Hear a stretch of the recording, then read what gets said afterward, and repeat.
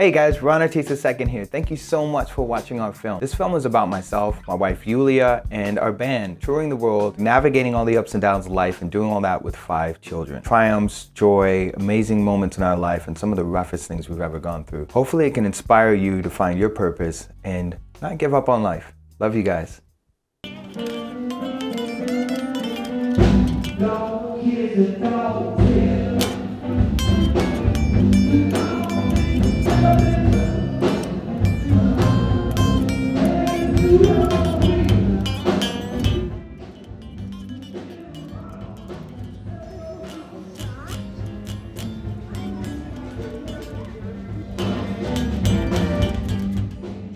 everything that I learned from problem solving to approaching music to expressing myself through the arts all came from my dad. Amongst many other things, my dad was a pianist, composer. To say he had an impact on me is a massive understatement. Hey world, how y'all doing? I'm Ron Artis, father of 11 children. My wife is Victoria. These are five of my boys. We're gonna play some music for you today. Ron wrote a wonderful song we're gonna share with you. Nothing happens to you. Everything happens for you. Hope you enjoy. Aloha.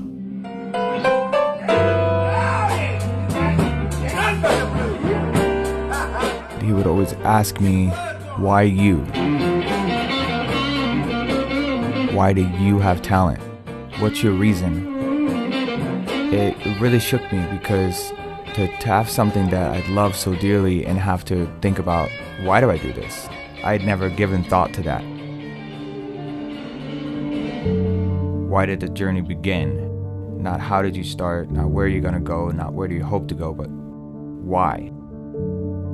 My reason for playing music at that time was simply because I loved it.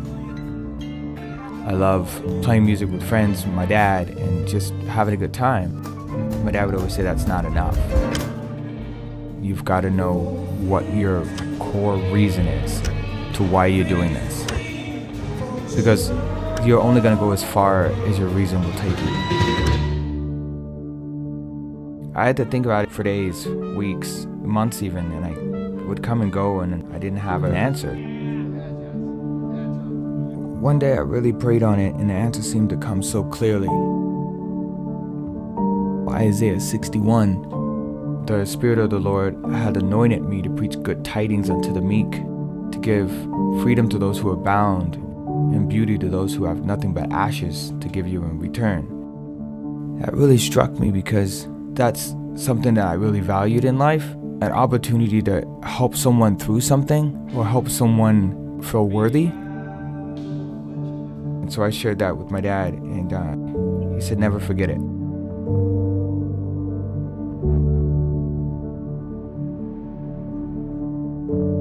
Not too many years after that, my dad passed away. I went through a lot of changes, and um, that reason stuck with me.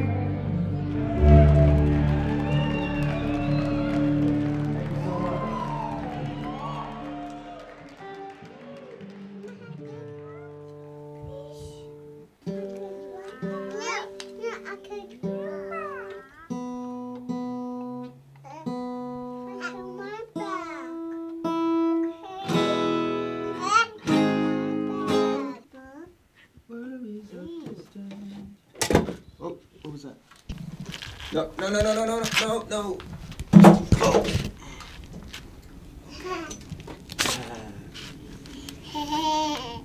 My kids are around every day when I'm practicing, when I'm writing, when I'm working. And I didn't see how it's supposed to be a choice between two things you love family and music. My wife and I said, Man, we didn't make all these sacrifices to come together to grow our lives apart. In the very beginning, when we first started traveling, the funding was mainly enough for having him go, not me. And in some kind of really admirable way, he always figured out how we could go together as a couple. It continued from there. We started having one baby and we brought her along, and then we had two babies, we brought them along.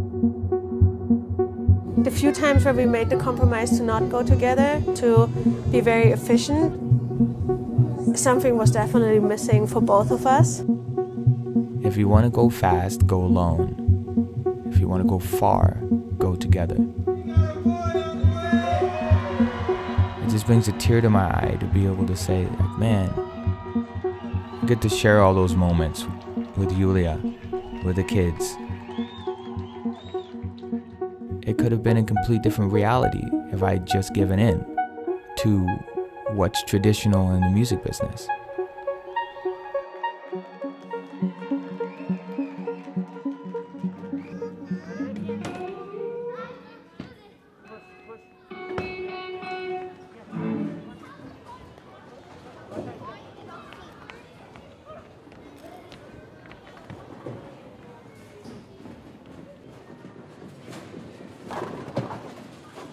There were a lot of suggestions of his career could be faster and bigger if we would make the sacrifice of leaving that at the side sometime.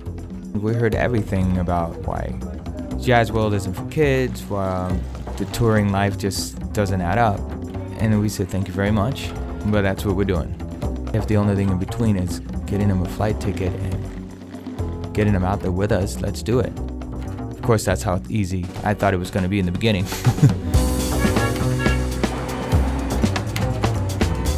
Oftentimes, venues we showed up with two kids, and people said, Nah, you won't be in here. Thankfully, we started early enough for us to be able to grow with this over time, understand the dynamics of traveling as a family and what that takes. On the long, tiring nights of carrying two car seats through a airport, exhausted, getting on a plane, I definitely wouldn't trade that. It's a struggle that's worth it. Welcome aboard Flight 264. We will be in the air approximately 5 hours and 24 minutes.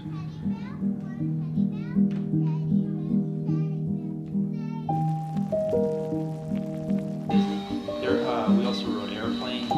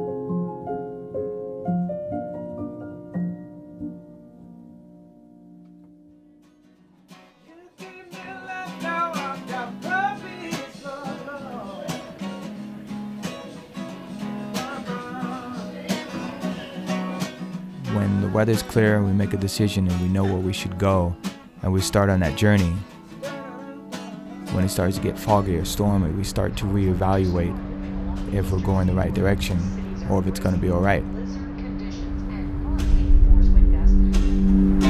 I found peace. Looking into your eyes, I found love. I love challenges, but sometimes I'm just tired, man. You get setbacks, you get people who disagree with you, people who just don't like you, you get people who love you but just don't understand you. It's sometimes really confusing to try to piece it all together.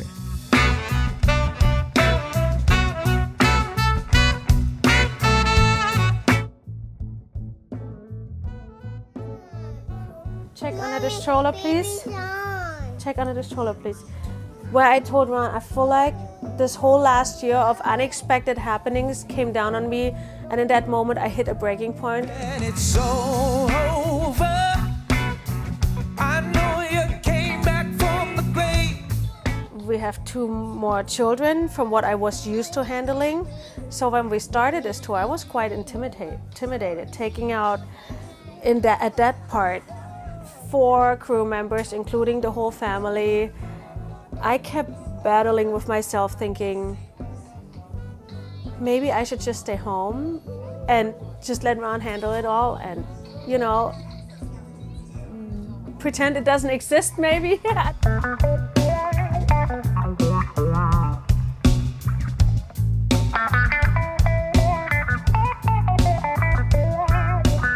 Every time I've reevaluated in the middle of the storm, I've created bigger problems.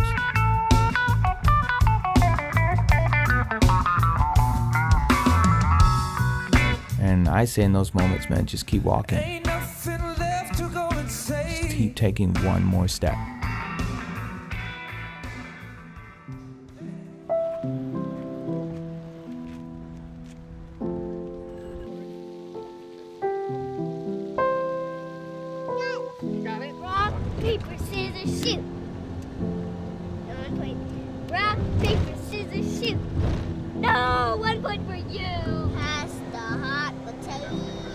For the, the, the tour? Yeah, and for availability and all that stuff. Down for some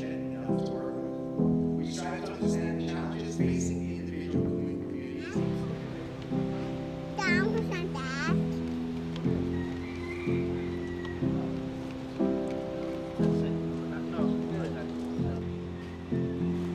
When you're in the middle of the storm, is not the time to reevaluate. It's a time to persevere.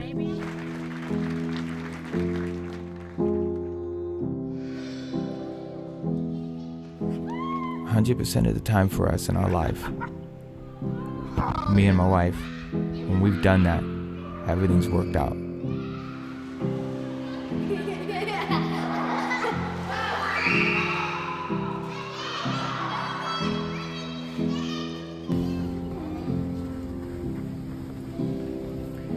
Go. What's next? DC, then Philly, then Asbury Park, then uh, North Carolina. Let's do this. When we're tired, when we're down, that's when it matters if you have it or not. That's when it matters if you have a purpose. Because that's what's going to get you up and keep going because you're going to say, these actions are worth it. This project is worth it. Those people are worth it. I think every time I had doubts if we should be here, but then there's one person saying, Man, that I heard your daughter sing tonight meant so much to me. It, the melting of people together versus being on their own really fuels me up. And I knew we can keep doing this, we can keep going. You know, sometimes someone will walk up at the end of a concert and tell us that they really needed to hear the message that we were sharing that day. Man, that's the greatest compliment we can ever get. It's more important than winning any award, getting any sum of money or anything. It's just getting the feeling that maybe you make a little difference in this world.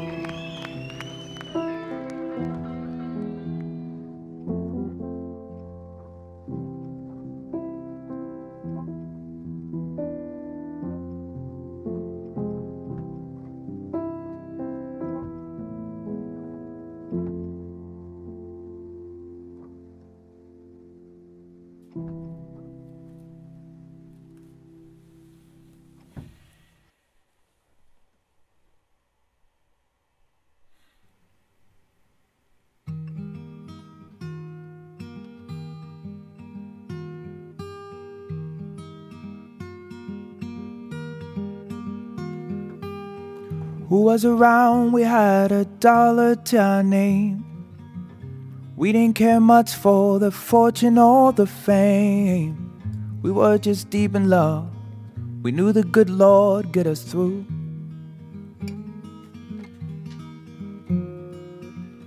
Now there's heaps of folks telling us how to live. Did they walk our shoes, do the things we did? I don't believe them for a second when they say they understand the way we live. I can't be what this world wants of me. Won't let go of my Christianity. Won't change who I am or hate on anyone for none.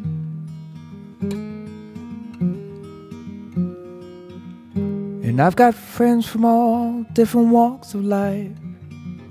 We're all struggling to be a little light, giving everything we have to the ones we see in need. As we all live, we all die.